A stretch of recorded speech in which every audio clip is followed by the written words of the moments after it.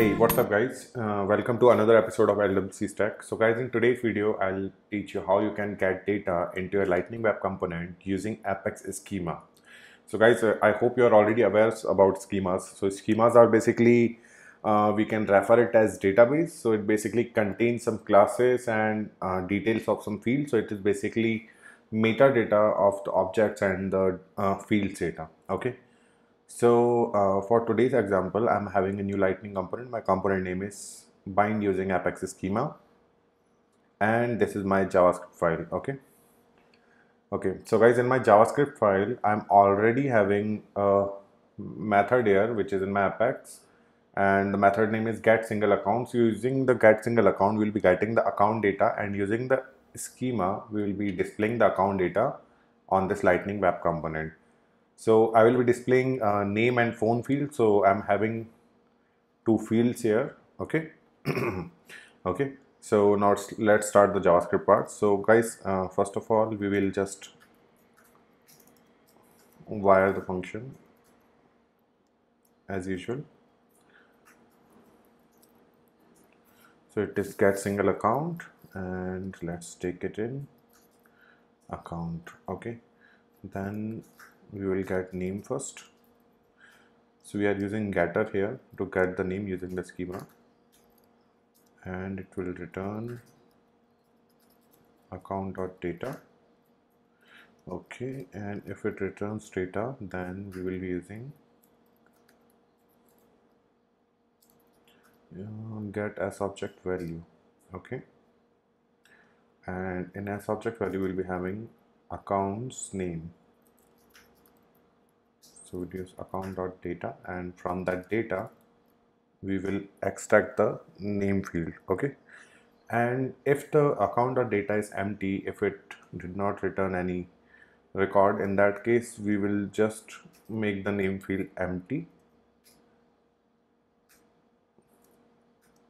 So this is the else part and else part i'm just putting an empty value here okay so this was the getter for name and the same getter will be having for phone number also. So let me just quickly you know copy and paste it. So this is going to be for phone. Okay and field name will be phone field here. All right so our getters are ready. Now let's move to the html part so guys in html part we won't do much. We'll just you know we'll just display the name and phone number. I'm not going to prepare any kind of design here.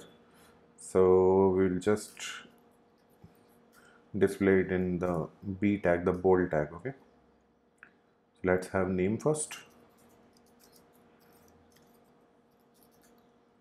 Okay and after that we can have phone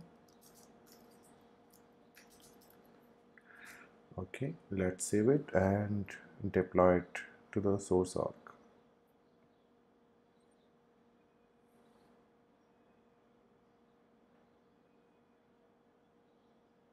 Okay it is deployed successfully. And let me show you the apex part also guys. So this is my apex account controller and in this apex i'm having a function here. The function name is get single account and the return type is account only because we are getting single account here okay? In our previous examples it was list of accounts but in this example it is account only. And we are just returning the name and phone number from account order by CreatedDate in descending order. So the recent record which uh, we have created will be on the top okay? So we have deployed the component okay but i forgot to open my default org so let me just open it.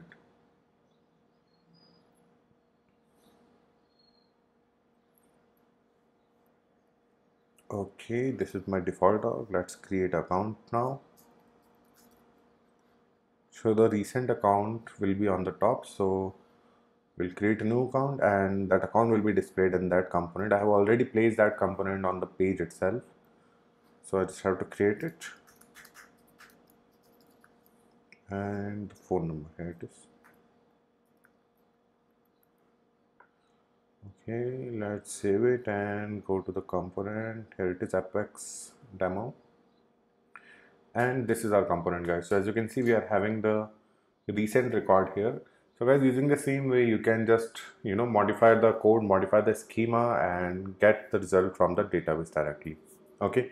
So that's it for today guys and i'll see you in the next one. Thanks for watching